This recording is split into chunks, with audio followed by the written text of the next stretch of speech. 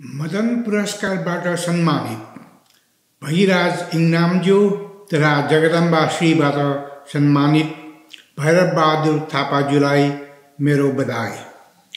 यहाँ उपस्थित हुनुहुने र अन्य माध्यमबाट मेरो प्रवचन सुन्नुहुने सभालाई मेरो नमस्कार। यस्तो शुभ अवसरमा विद्युत प्रवचन दिनको लागि मलाई आमन्त्रण गर्नुभएकोमा मरण पुरस्कार गुठीलाई विशेष गरी गुठीको अध्यक्ष पुण्यमणि दीक्षितज्यूलाई मेरो कृतज्ञता ज्ञापन गर्दै म आफ्नो प्रवचन सुरु गर्छु। मेरो प्रवचनको शीर्षक छ ऋतु संस्कृति वैद्य एकाष्टका र कृष्णाष्टमी। ऋतु शब्दको साधारण माने मौसम हो तापनि वर्षा ऋतु सबभन्दा महत्त्वपूर्ण ऋतु भएको हुनाले वैदिक साहित्यमा झै वर्षा सुरु भयो र हरियो घाँसपात उम्रन थाल्यो भन्ने वर्णन गर्दाखेरि ऋतावागते ऋतु आएपछि भनेर लेखिएको पाइन्छ। त्यसैले वर्षा ऋतुसँग सम्बन्ध राख्ने संस्कृतिलाई मैले ऋतु संस्कृति भन्ने गरेको हुँ।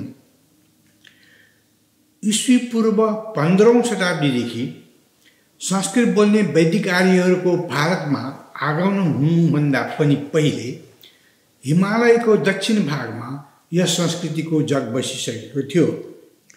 यो पुरानो संस्कृति अहिले पनि जीवित छ।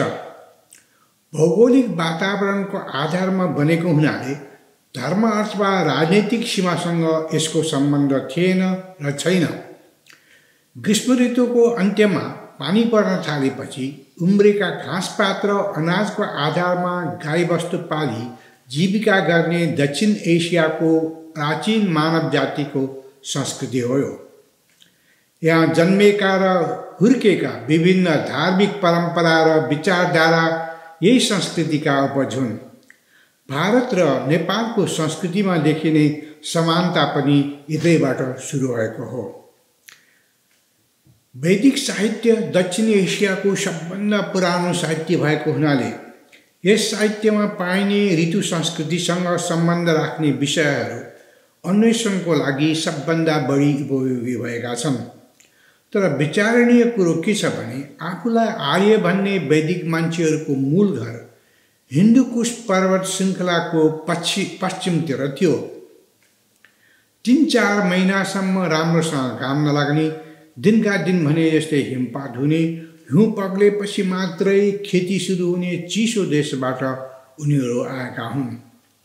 यस्तो चिसो ठाउँमा लामो समयसम्म जीव जन्तुहरू पनि हिउँबाट ज्यान जोगाउनको लागि झारपातभित्र ढुङ्गाको खोचमा अथवा भुइँभित्र बसेर बस् भुइँभित्र लुकेर बस्छन्। वसन्त ऋतुको घामले हिउँ पग्दै गएपछि घाँस पकाउन थाल्छ। अनि गाईबस्तुहरू गोठबाट बाहिर आउँछन् र खुसी भएर उफ्री उफ्री नाच्छन्। यस्तो जाडो देशमा अग्नि र सूर्यको ठुलो महत्त्व हुनु स्वाभाविकै भयो। यी देवताहरूको वर्णन वैदिक साहित्यमा जताततै पाइन्छन्। यो त हिम संस्कृति हाइबरनेसन कल्चरको कुरो भयो यस्तो संस्कृतिमा हुर्केका आर्यहरू उत्तर भारतमा बस्ती बसाएपछि मात्रै ऋतु संस्कृतिसँग परिचित हुन थाले। हिउँ पर्दाखेरि आगो बालेर घरभित्र बस्नुपर्ने समस्या यहाँ भएन तर यहाँको समस्या अर्कै रहेछ भन्ने कुरा बुझ्न उनीहरूलाई धेरै समय लागेन। हिउँदमा होइन कि ग्रीष्म ऋतुमा गाई गोरुलाई हरियो घाँस दुर्लभ हुने तथा वर्षात सुरु भएपछि जताततै हरियो हुने देखेपछि उनीहरूले वर्षा ऋतुको महत्त्व थाहा पाए। वर्षा अरू ऋतु जस्तो होइन। यो अनियमित छ कहिले ढिलो आउँछ कहिले आउँदै आउँदैन र गाई गोरु मात्र होइन। अरू जीव जन्तुहरूलाई पनि जिउन मुस्किल पर्छ भन्ने कुरा ऋग्वेद र अथर्वेदको रचना हुँदाखेरि नै उनीहरूले अनुभवद्वारा सिकिसकेका थिए। त्यसैले वैदिक साहित्यमा हिम संस्कृति र ऋतु संस्कृतिसँग सम्बन्ध राख्ने दुवै कुरा पाइन्छन्। ऋग्वेद सबैभन्दा पुरानो वैदिक ग्रन्थ भएको हुनाले यसमा ऋतु संस्कृतिका कुरा कम छन् किनकि नयाँ बसोबासको हावापानी बुझ्न वैदिक आर्यहरूलाई केही समय लागेको थियो। हिउँपाल हुने देशमा अरू जीव जन्तु जस्तै भ्याउता पनि हिउँभरि भुइँभित्र लुकेर बस्छन्। वसन्त ऋतुको घामले हिउँ पगालेपछि मात्रै भुइँबाट भू भुइँबाट बाहिर आउँछन् र टर टर कराउन थाल्छन्। तर दक्षिण एसियामा चर्को घामबाट बस्न भ्यागुता ग्रीष्म ऋतुभरि भुइँभित्र लुकेर बस्छ वर्षा सुरु हुनासाथ बाहिर आउँछन् र कराउन थाल्छन्।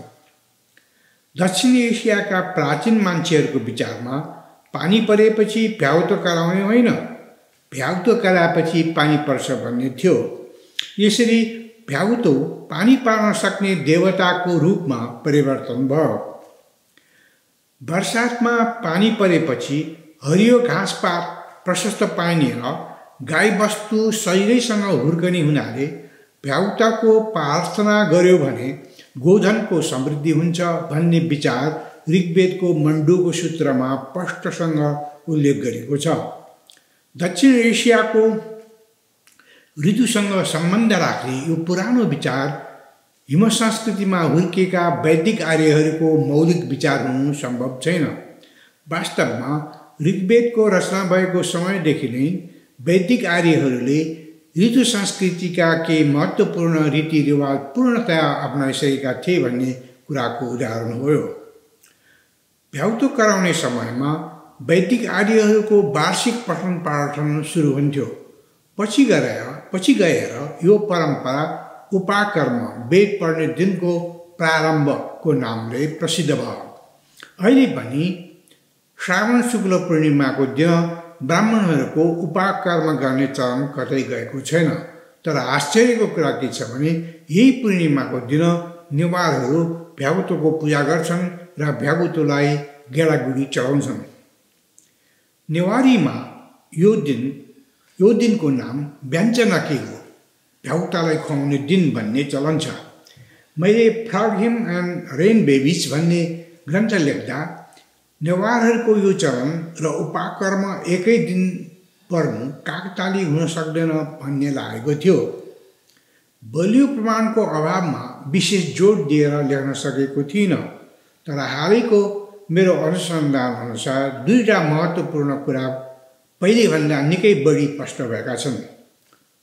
पहिलो कुरा ऋग्वेद आदि प्राचीन ग्रन्थ निर्माण भएको बेलामा श्रावण शुक्ल पूर्णिमा अथवा जनै पूर्णिमा आजभोलि जस्तो वर्षातको अन्त्यमा होइन कि उठानमा पर्थ्यो।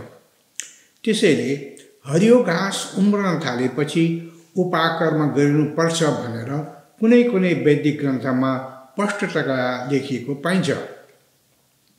श्रावण शुक्ल पूर्णिमापछि लगात्तै आउने भाद्र महिना वर्षा ऋतुको पहिलो महिना थियो भन्ने कुरा रामायण जस्तो पुरानो संस्कृतबाट पनि पुरानो संस्कृत ग्रन्थबाट पनि बुझ्न सकिन्छ। दोस्रो कुरो गाई पाल्ने प्राचीन गोठालाहरूको जीवनचर्या र विचारसँग सम्बद्ध छ। शरद ऋतु आउनुभन्दा केही दिन अघि गाईले पेट बोक्यो भने वर्षा ऋतुको प्रारम्भमा हरियो घाँस प्रशस्त पाइने बेलामा ब्याउँछ र गाई र बाछोको स्वास्थ्य राम्रो हुन्छ भन्ने उनीहरूको विचार थियो। त्यसैले उनीहरू गाई गोरुलाई एकै ठाउँमा राख्दैनथे शरद ऋतु आउनुभन्दा केही दिन अघि मात्रै विश्वसर्ग भन्ने विधि विधान गरेर गोरुलाई छोडिदिन्थे। विश्वसर्गको दिन आजभोलि तिहारमा पर्छ। नेवारहरू यही दिन नेपाल सम्बतको उठान मानि डिम्ब अर्थात् आमाको पेटमा भर्खरै जन्म लिएको बच्चाको प्रतिनिधित्व गर्ने देवता जम्बललाई त्यही नामको ठुलो फलको ना फलको रूपमा पूजा गरेर म पूजा अथवा म पूजा मनाउँछन्। तर नेपालीमा यो दिनलाई गोरु तिहार भने भन्ने चलन छ। तिहारमा पेट बोकेको गाई दुई सय त्रियासी दिनपछि जनै पूर्णिमा अथवा गाई जात्रातिर ब्याउँछ। वास्तवमा गाई जात्रा गाईले बाछो पाउने दिनको उत्सव हो। त्यसैले गाई जात्राको दिन केटाहरू गाईको मुकुण्डो लगाएर बाछोको रूपमा सहर परिक्रमा गर्छन्। तिहारदेखि गाई जात्रासम्मको समयावधिलाई प्राचीन वैदिक ग्रन्थहरूमा संवत्सर भन्ने चलन थियो। संवत्सरको शाब्दिक अर्थ संवत्सर राम्रो बच्चा पेटमा भएको बेला भन्ने हुन्छ। संवत्सरको अन्त्यमा भ्याउता कराउन थालेपछि वेदको अध्ययन सुरु हुन्छ भनेर ऋग्वेदमा लेखिएकै छ।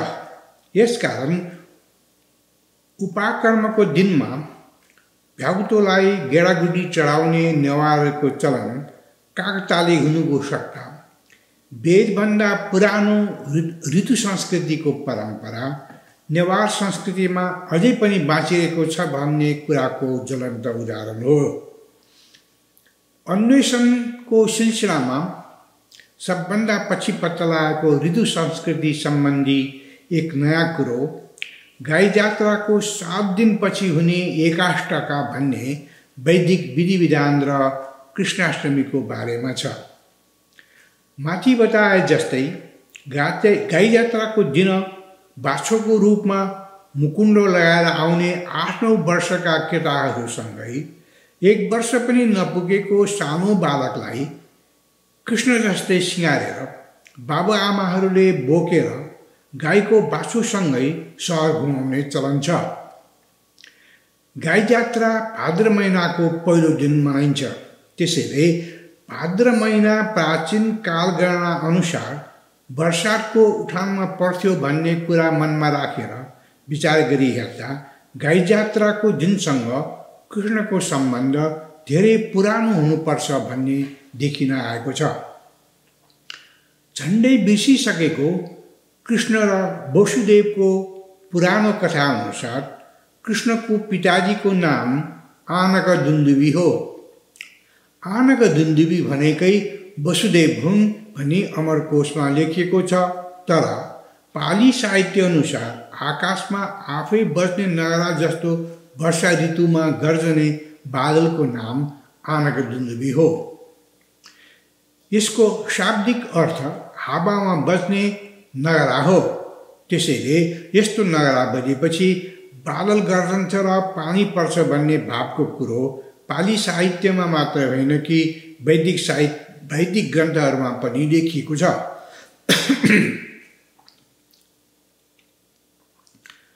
बच्चा जन्मनासाथ अनेक कारणले गर्दा उनीहरूको मृत्यु हुने सम्भाव सम्भावना धेरै भएको हुनाले बच्चा जन्मेको केही दिनपछि मात्रै उनीहरूको जन्म जन्म जयन्ती मनाउने पुरानो चलनअनुसार वैदिक कालमा वर्षाको उठानमा जन्मेका बाछाहरूको स्वास्थ्यको लागि उनीहरू जन्मने दिन भनेर मानिएको गाई जात्राको दिनभन्दा सात दिनपछि एकाष्टका भन्ने रिचुअल अर्थात् विधि विधान गर्थे।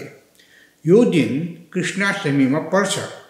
त्यसैले बच्चा देवता हुन् देवता बच्चा हुन् भन्ने विचारअनुसार कृष्ण गाईको बाछो जस्तै वर्षाको उठानमा जन्मेका देवता हुन्। झै वर्षासँगै सृष्टि सुरु हुन्छ र त्यसै बेला विश्वरूपी महापुरुष बच्चाको रूपमा जन्मन्छ भन्ने कुरा अथर्ववेदमा लेखिएकै छ। पछि गएर यिनै महापुरुष कृष्णको रूपमा परिवर्तन भयो।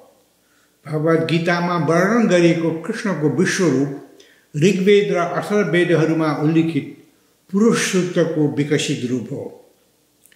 प्रवचन सिद्ध्याउनुभन्दा अघि भनिहाल्नुपर्ने कुरा के छ भने धेरैजसो पाश्चात्य विद्वानहरूको विचारमा एकाष्टका मार्ग महिनामा पर्छ भन्ने छ।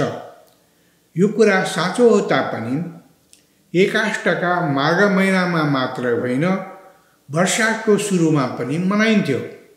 त्यसैले यसको नाम अपरा एकाष्टका अर्को एकाष्टका भन्ने थियो। यो कुरा हालैको मेरो अन्वेषणबाट पत्ता लागेको हो प्रकाशित हुन लागेको अङ्ग्रेजीमा लेखेको लामो लेखमा मैले यस विषयमा विस्तारपूर्वक लेखेको छु। देवता बच्चाको रूपमा जन्मन्छ भन्ने वैदिक अथवा प्राग्वैदिक विचार भारतमा धेरै शताब्दी अघि नै हराइसकेको छ। तर काठमाडौँ उपत्यकाको नेवार संस्कृतिमा विशेष गरेर वार्षिक महास्नानको विधि विधानमा यो विचार अझै जीवित छ। भ्याउतोलाई पूजा गर्ने दिनको भोलिपल्ट गाईले गाईले बाछो पाउने दिनमा सानो बच्चालाई कृष्ण जस्तै सिँगारेर सहर घुमाउ घुमाउने चलन त्यही पुरानो विचारको अभिव्यक्ति हो। नेवार संस्कृति र वैदिक साहित्य सम्बन्धी यो मेरो प्रवचन कतिलाई अनौठो लाग्न सक्छ? किनभने यस विषयमा कसैले केही लेखेको पाइँदैन।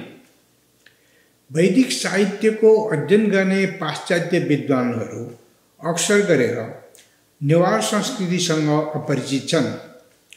त्यसै गरी नेवार संस्कृतिमा अभिरुचि लिने व्यक्तिहरू वेद पढ्दैनन् तर वैदिक साहित्यमा पाइने ऋतु संस्कृतिसँग नेवार परम्पराको तुलनात्मक तुलनात्मक अध्ययन गरी हेर्दा धेरै महत्त्वपूर्ण कुराहरू प्रकाशमा आएका छन्।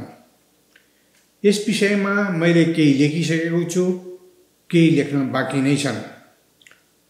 अन्त्यमा आज मरण पुरस्कारबाट सम्मानित कृतिका लेखक भगिराज इङनामज्यू जगदम्बा श्रीबाट सम्मानित भैरव बहादुर थापाजीप्रति पुनः हार्दिक बधाई ज्ञापन गर्न चाहन्छु। यो मेरो प्रवचन ध्यानपूर्वक सुनिदिनु भएकोमा यहाँहरू सबैलाई हार्दिक धन्यवाद।